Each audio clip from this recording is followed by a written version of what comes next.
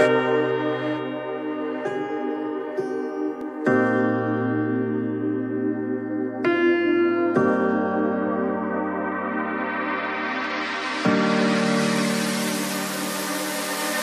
know that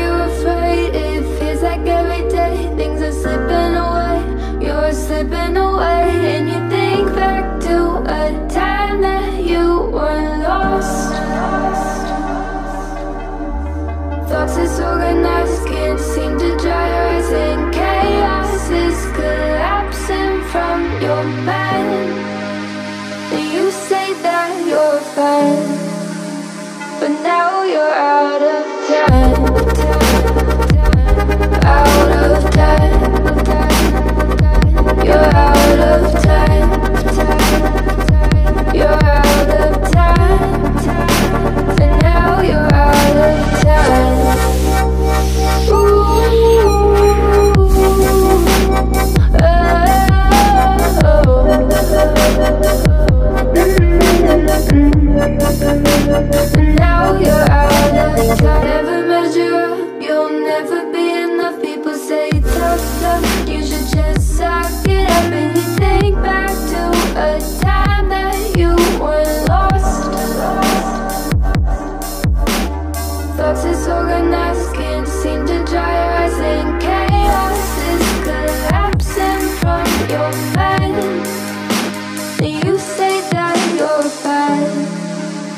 But now you're out of time.